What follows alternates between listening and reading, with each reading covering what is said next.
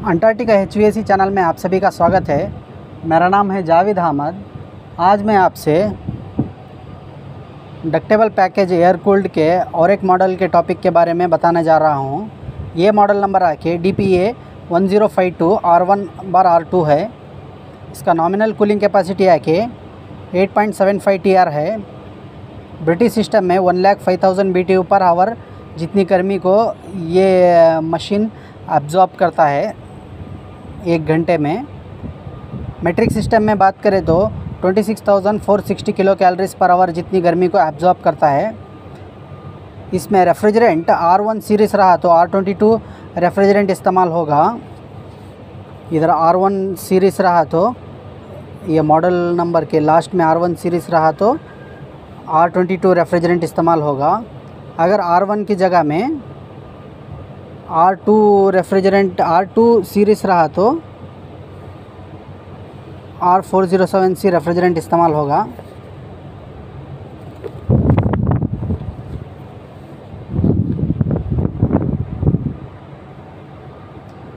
इसका external finish आके pure poly pure polyester powder coated GI steel हो होगा।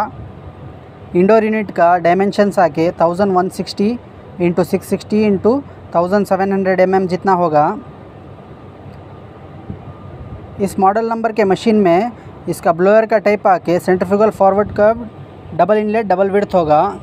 और इस ब्लोअर का एयर फ्लो क्वांटिटी आके 5950 meter cube per meter cube per hour होगा। सी एफ़ एम में बात करें तो three thousand five hundred C F M होगा।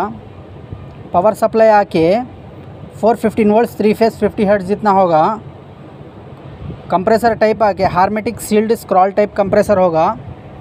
नंबर ऑफ़ कंप्रेसर्स यूनिट्स में दो कंप्रेसर लगेंगे और इसका कैपेसिटी कंट्रोल आके zero percent fifty percent hundred percent जितना होगा। इस मशीन में एयर फ़िल्टर आके H D P mesh type होगा। कंट्रोलर आके microprocessor based with L C D display होगा। चलिए बात करते हैं आउटडोर यूनिट के बारे में। आउटडोर यूनिट का नॉमिनल डायमेंशंस आके thousand twenty into four twenty into nine fifty M जितना होगा, उसका विड्थ डेप्थ और हाइट आके पावर सप्लाई आके 230 वोल्ट सिंगल फेस 50 हर्ट्स में काम करेगा। इस आउटडोर यूनिट में कंडेंसर का टाइप आके air cooled fin tube type होगा और कंडेंसर का फ़ैन टाइप आके प्रोपेलर टाइप फ़ैन होगा। इंडोर यूनिट का वेट आके अप्रॉक्सीमेटली 250 केजी जितना होगा।